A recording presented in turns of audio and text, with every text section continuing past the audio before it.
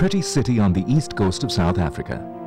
With its beautiful coastline and elegant colonial buildings, Durban is a good mix of the old and the new. It is also the city where a large number of people of Indian origin live. The nearly 1.3 million members of the Indian community in South Africa constitute barely 3% of the total population. The Indian community is now slowly rediscovering its roots. Indian songs and dances are specially popular. They are a unique bridge between the two countries, heirs to a history that goes back a long time. After many unsuccessful attempts by seafarers, the Portuguese sailor Vasco da Gama finally succeeded in reaching Indian shores in the late 15th century after rounding the Cape. A century and a half later, in the middle of the 17th century, the first Dutch settlers heading home from the Dutch East Indies or modern-day Indonesia landed in the Cape. With slavery at an end, British plantation owners in Natal and elsewhere desperately wanted cheap labor to work for them they turned to look eastwards to their other colonies. That is where India helped out.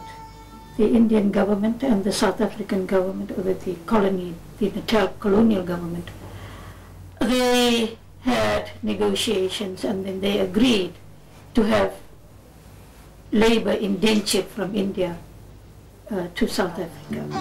Thousands of Indians from different parts of British-ruled India left their humble villages in North, West and South India to head for Mauritius, Fiji, the Caribbean and South Africa to work in the sugar fields. By the late 19th century, despite hardships and discrimination by the ruling whites, the Indians had settled in Natal and reports of a better life attracted more of their fellow countrymen. Among the new visitors was a young London-educated lawyer Mohandas Karamchand Gandhi. Gandhi's political activism fired the imagination of the Indians who came together to fight the ruling whites. A similar fire was also burning among black Africans who had been subjugated by racist rulers for centuries. Mohandas Gandhi left the shores of South Africa forever in 1914, but kept an abiding interest in its problems. The late 1940s saw major changes in both countries.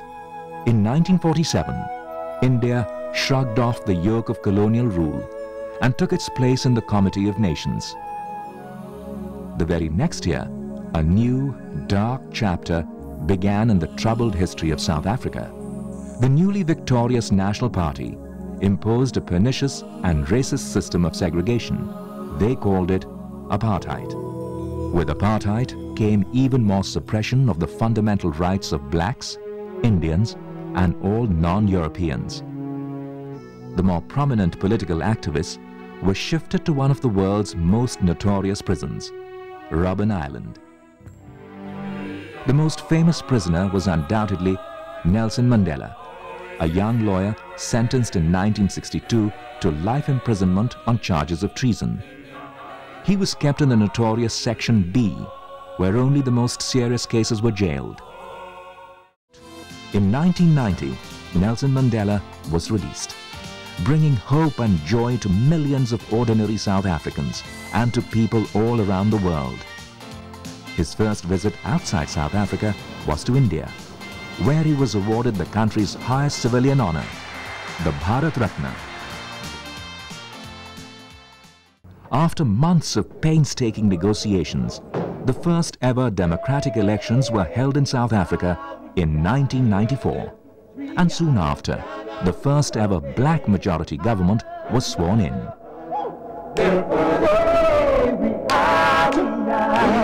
The journey, begun by Mohandas Gandhi a century ago in South Africa, had finally culminated.